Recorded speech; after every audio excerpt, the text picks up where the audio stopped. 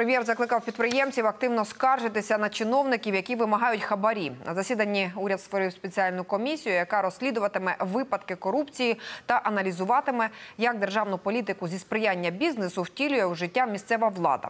Хабарникам, чию провину доведуть, Олексій Гончарук погрожує арештами. Він також попросив людей не соромитися і звертатися зі скаргами до міністрів напряму через соціальні мережі.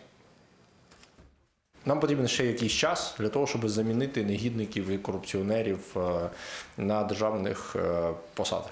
Тому інспектори, е, інші можновладці, які з вас вимагають хабарі, залишаться там недовго на цих посадах. Ми є в соціальних мережах, до нас можна звертатися офіційно. Всіх цих людей потрібно арештовувати,